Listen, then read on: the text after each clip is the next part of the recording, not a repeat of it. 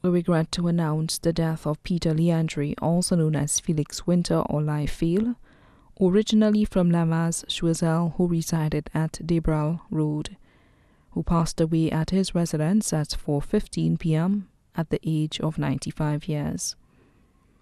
Left to mourn daughters Rosemary Brett of Lafargue Choiseul, Valerie Labadie of Lafargue Choiseul, Monica Labadie, also known as Bridget of St. Martin, one son Nicholas Labadie of Castries. The funeral service of the late Peter Leandre, also known as Felix Winter or Liefeld, will be announced in a subsequent broadcast. The body now lies at Crick's Funeral Home Limited, Riverdore, Choiseul.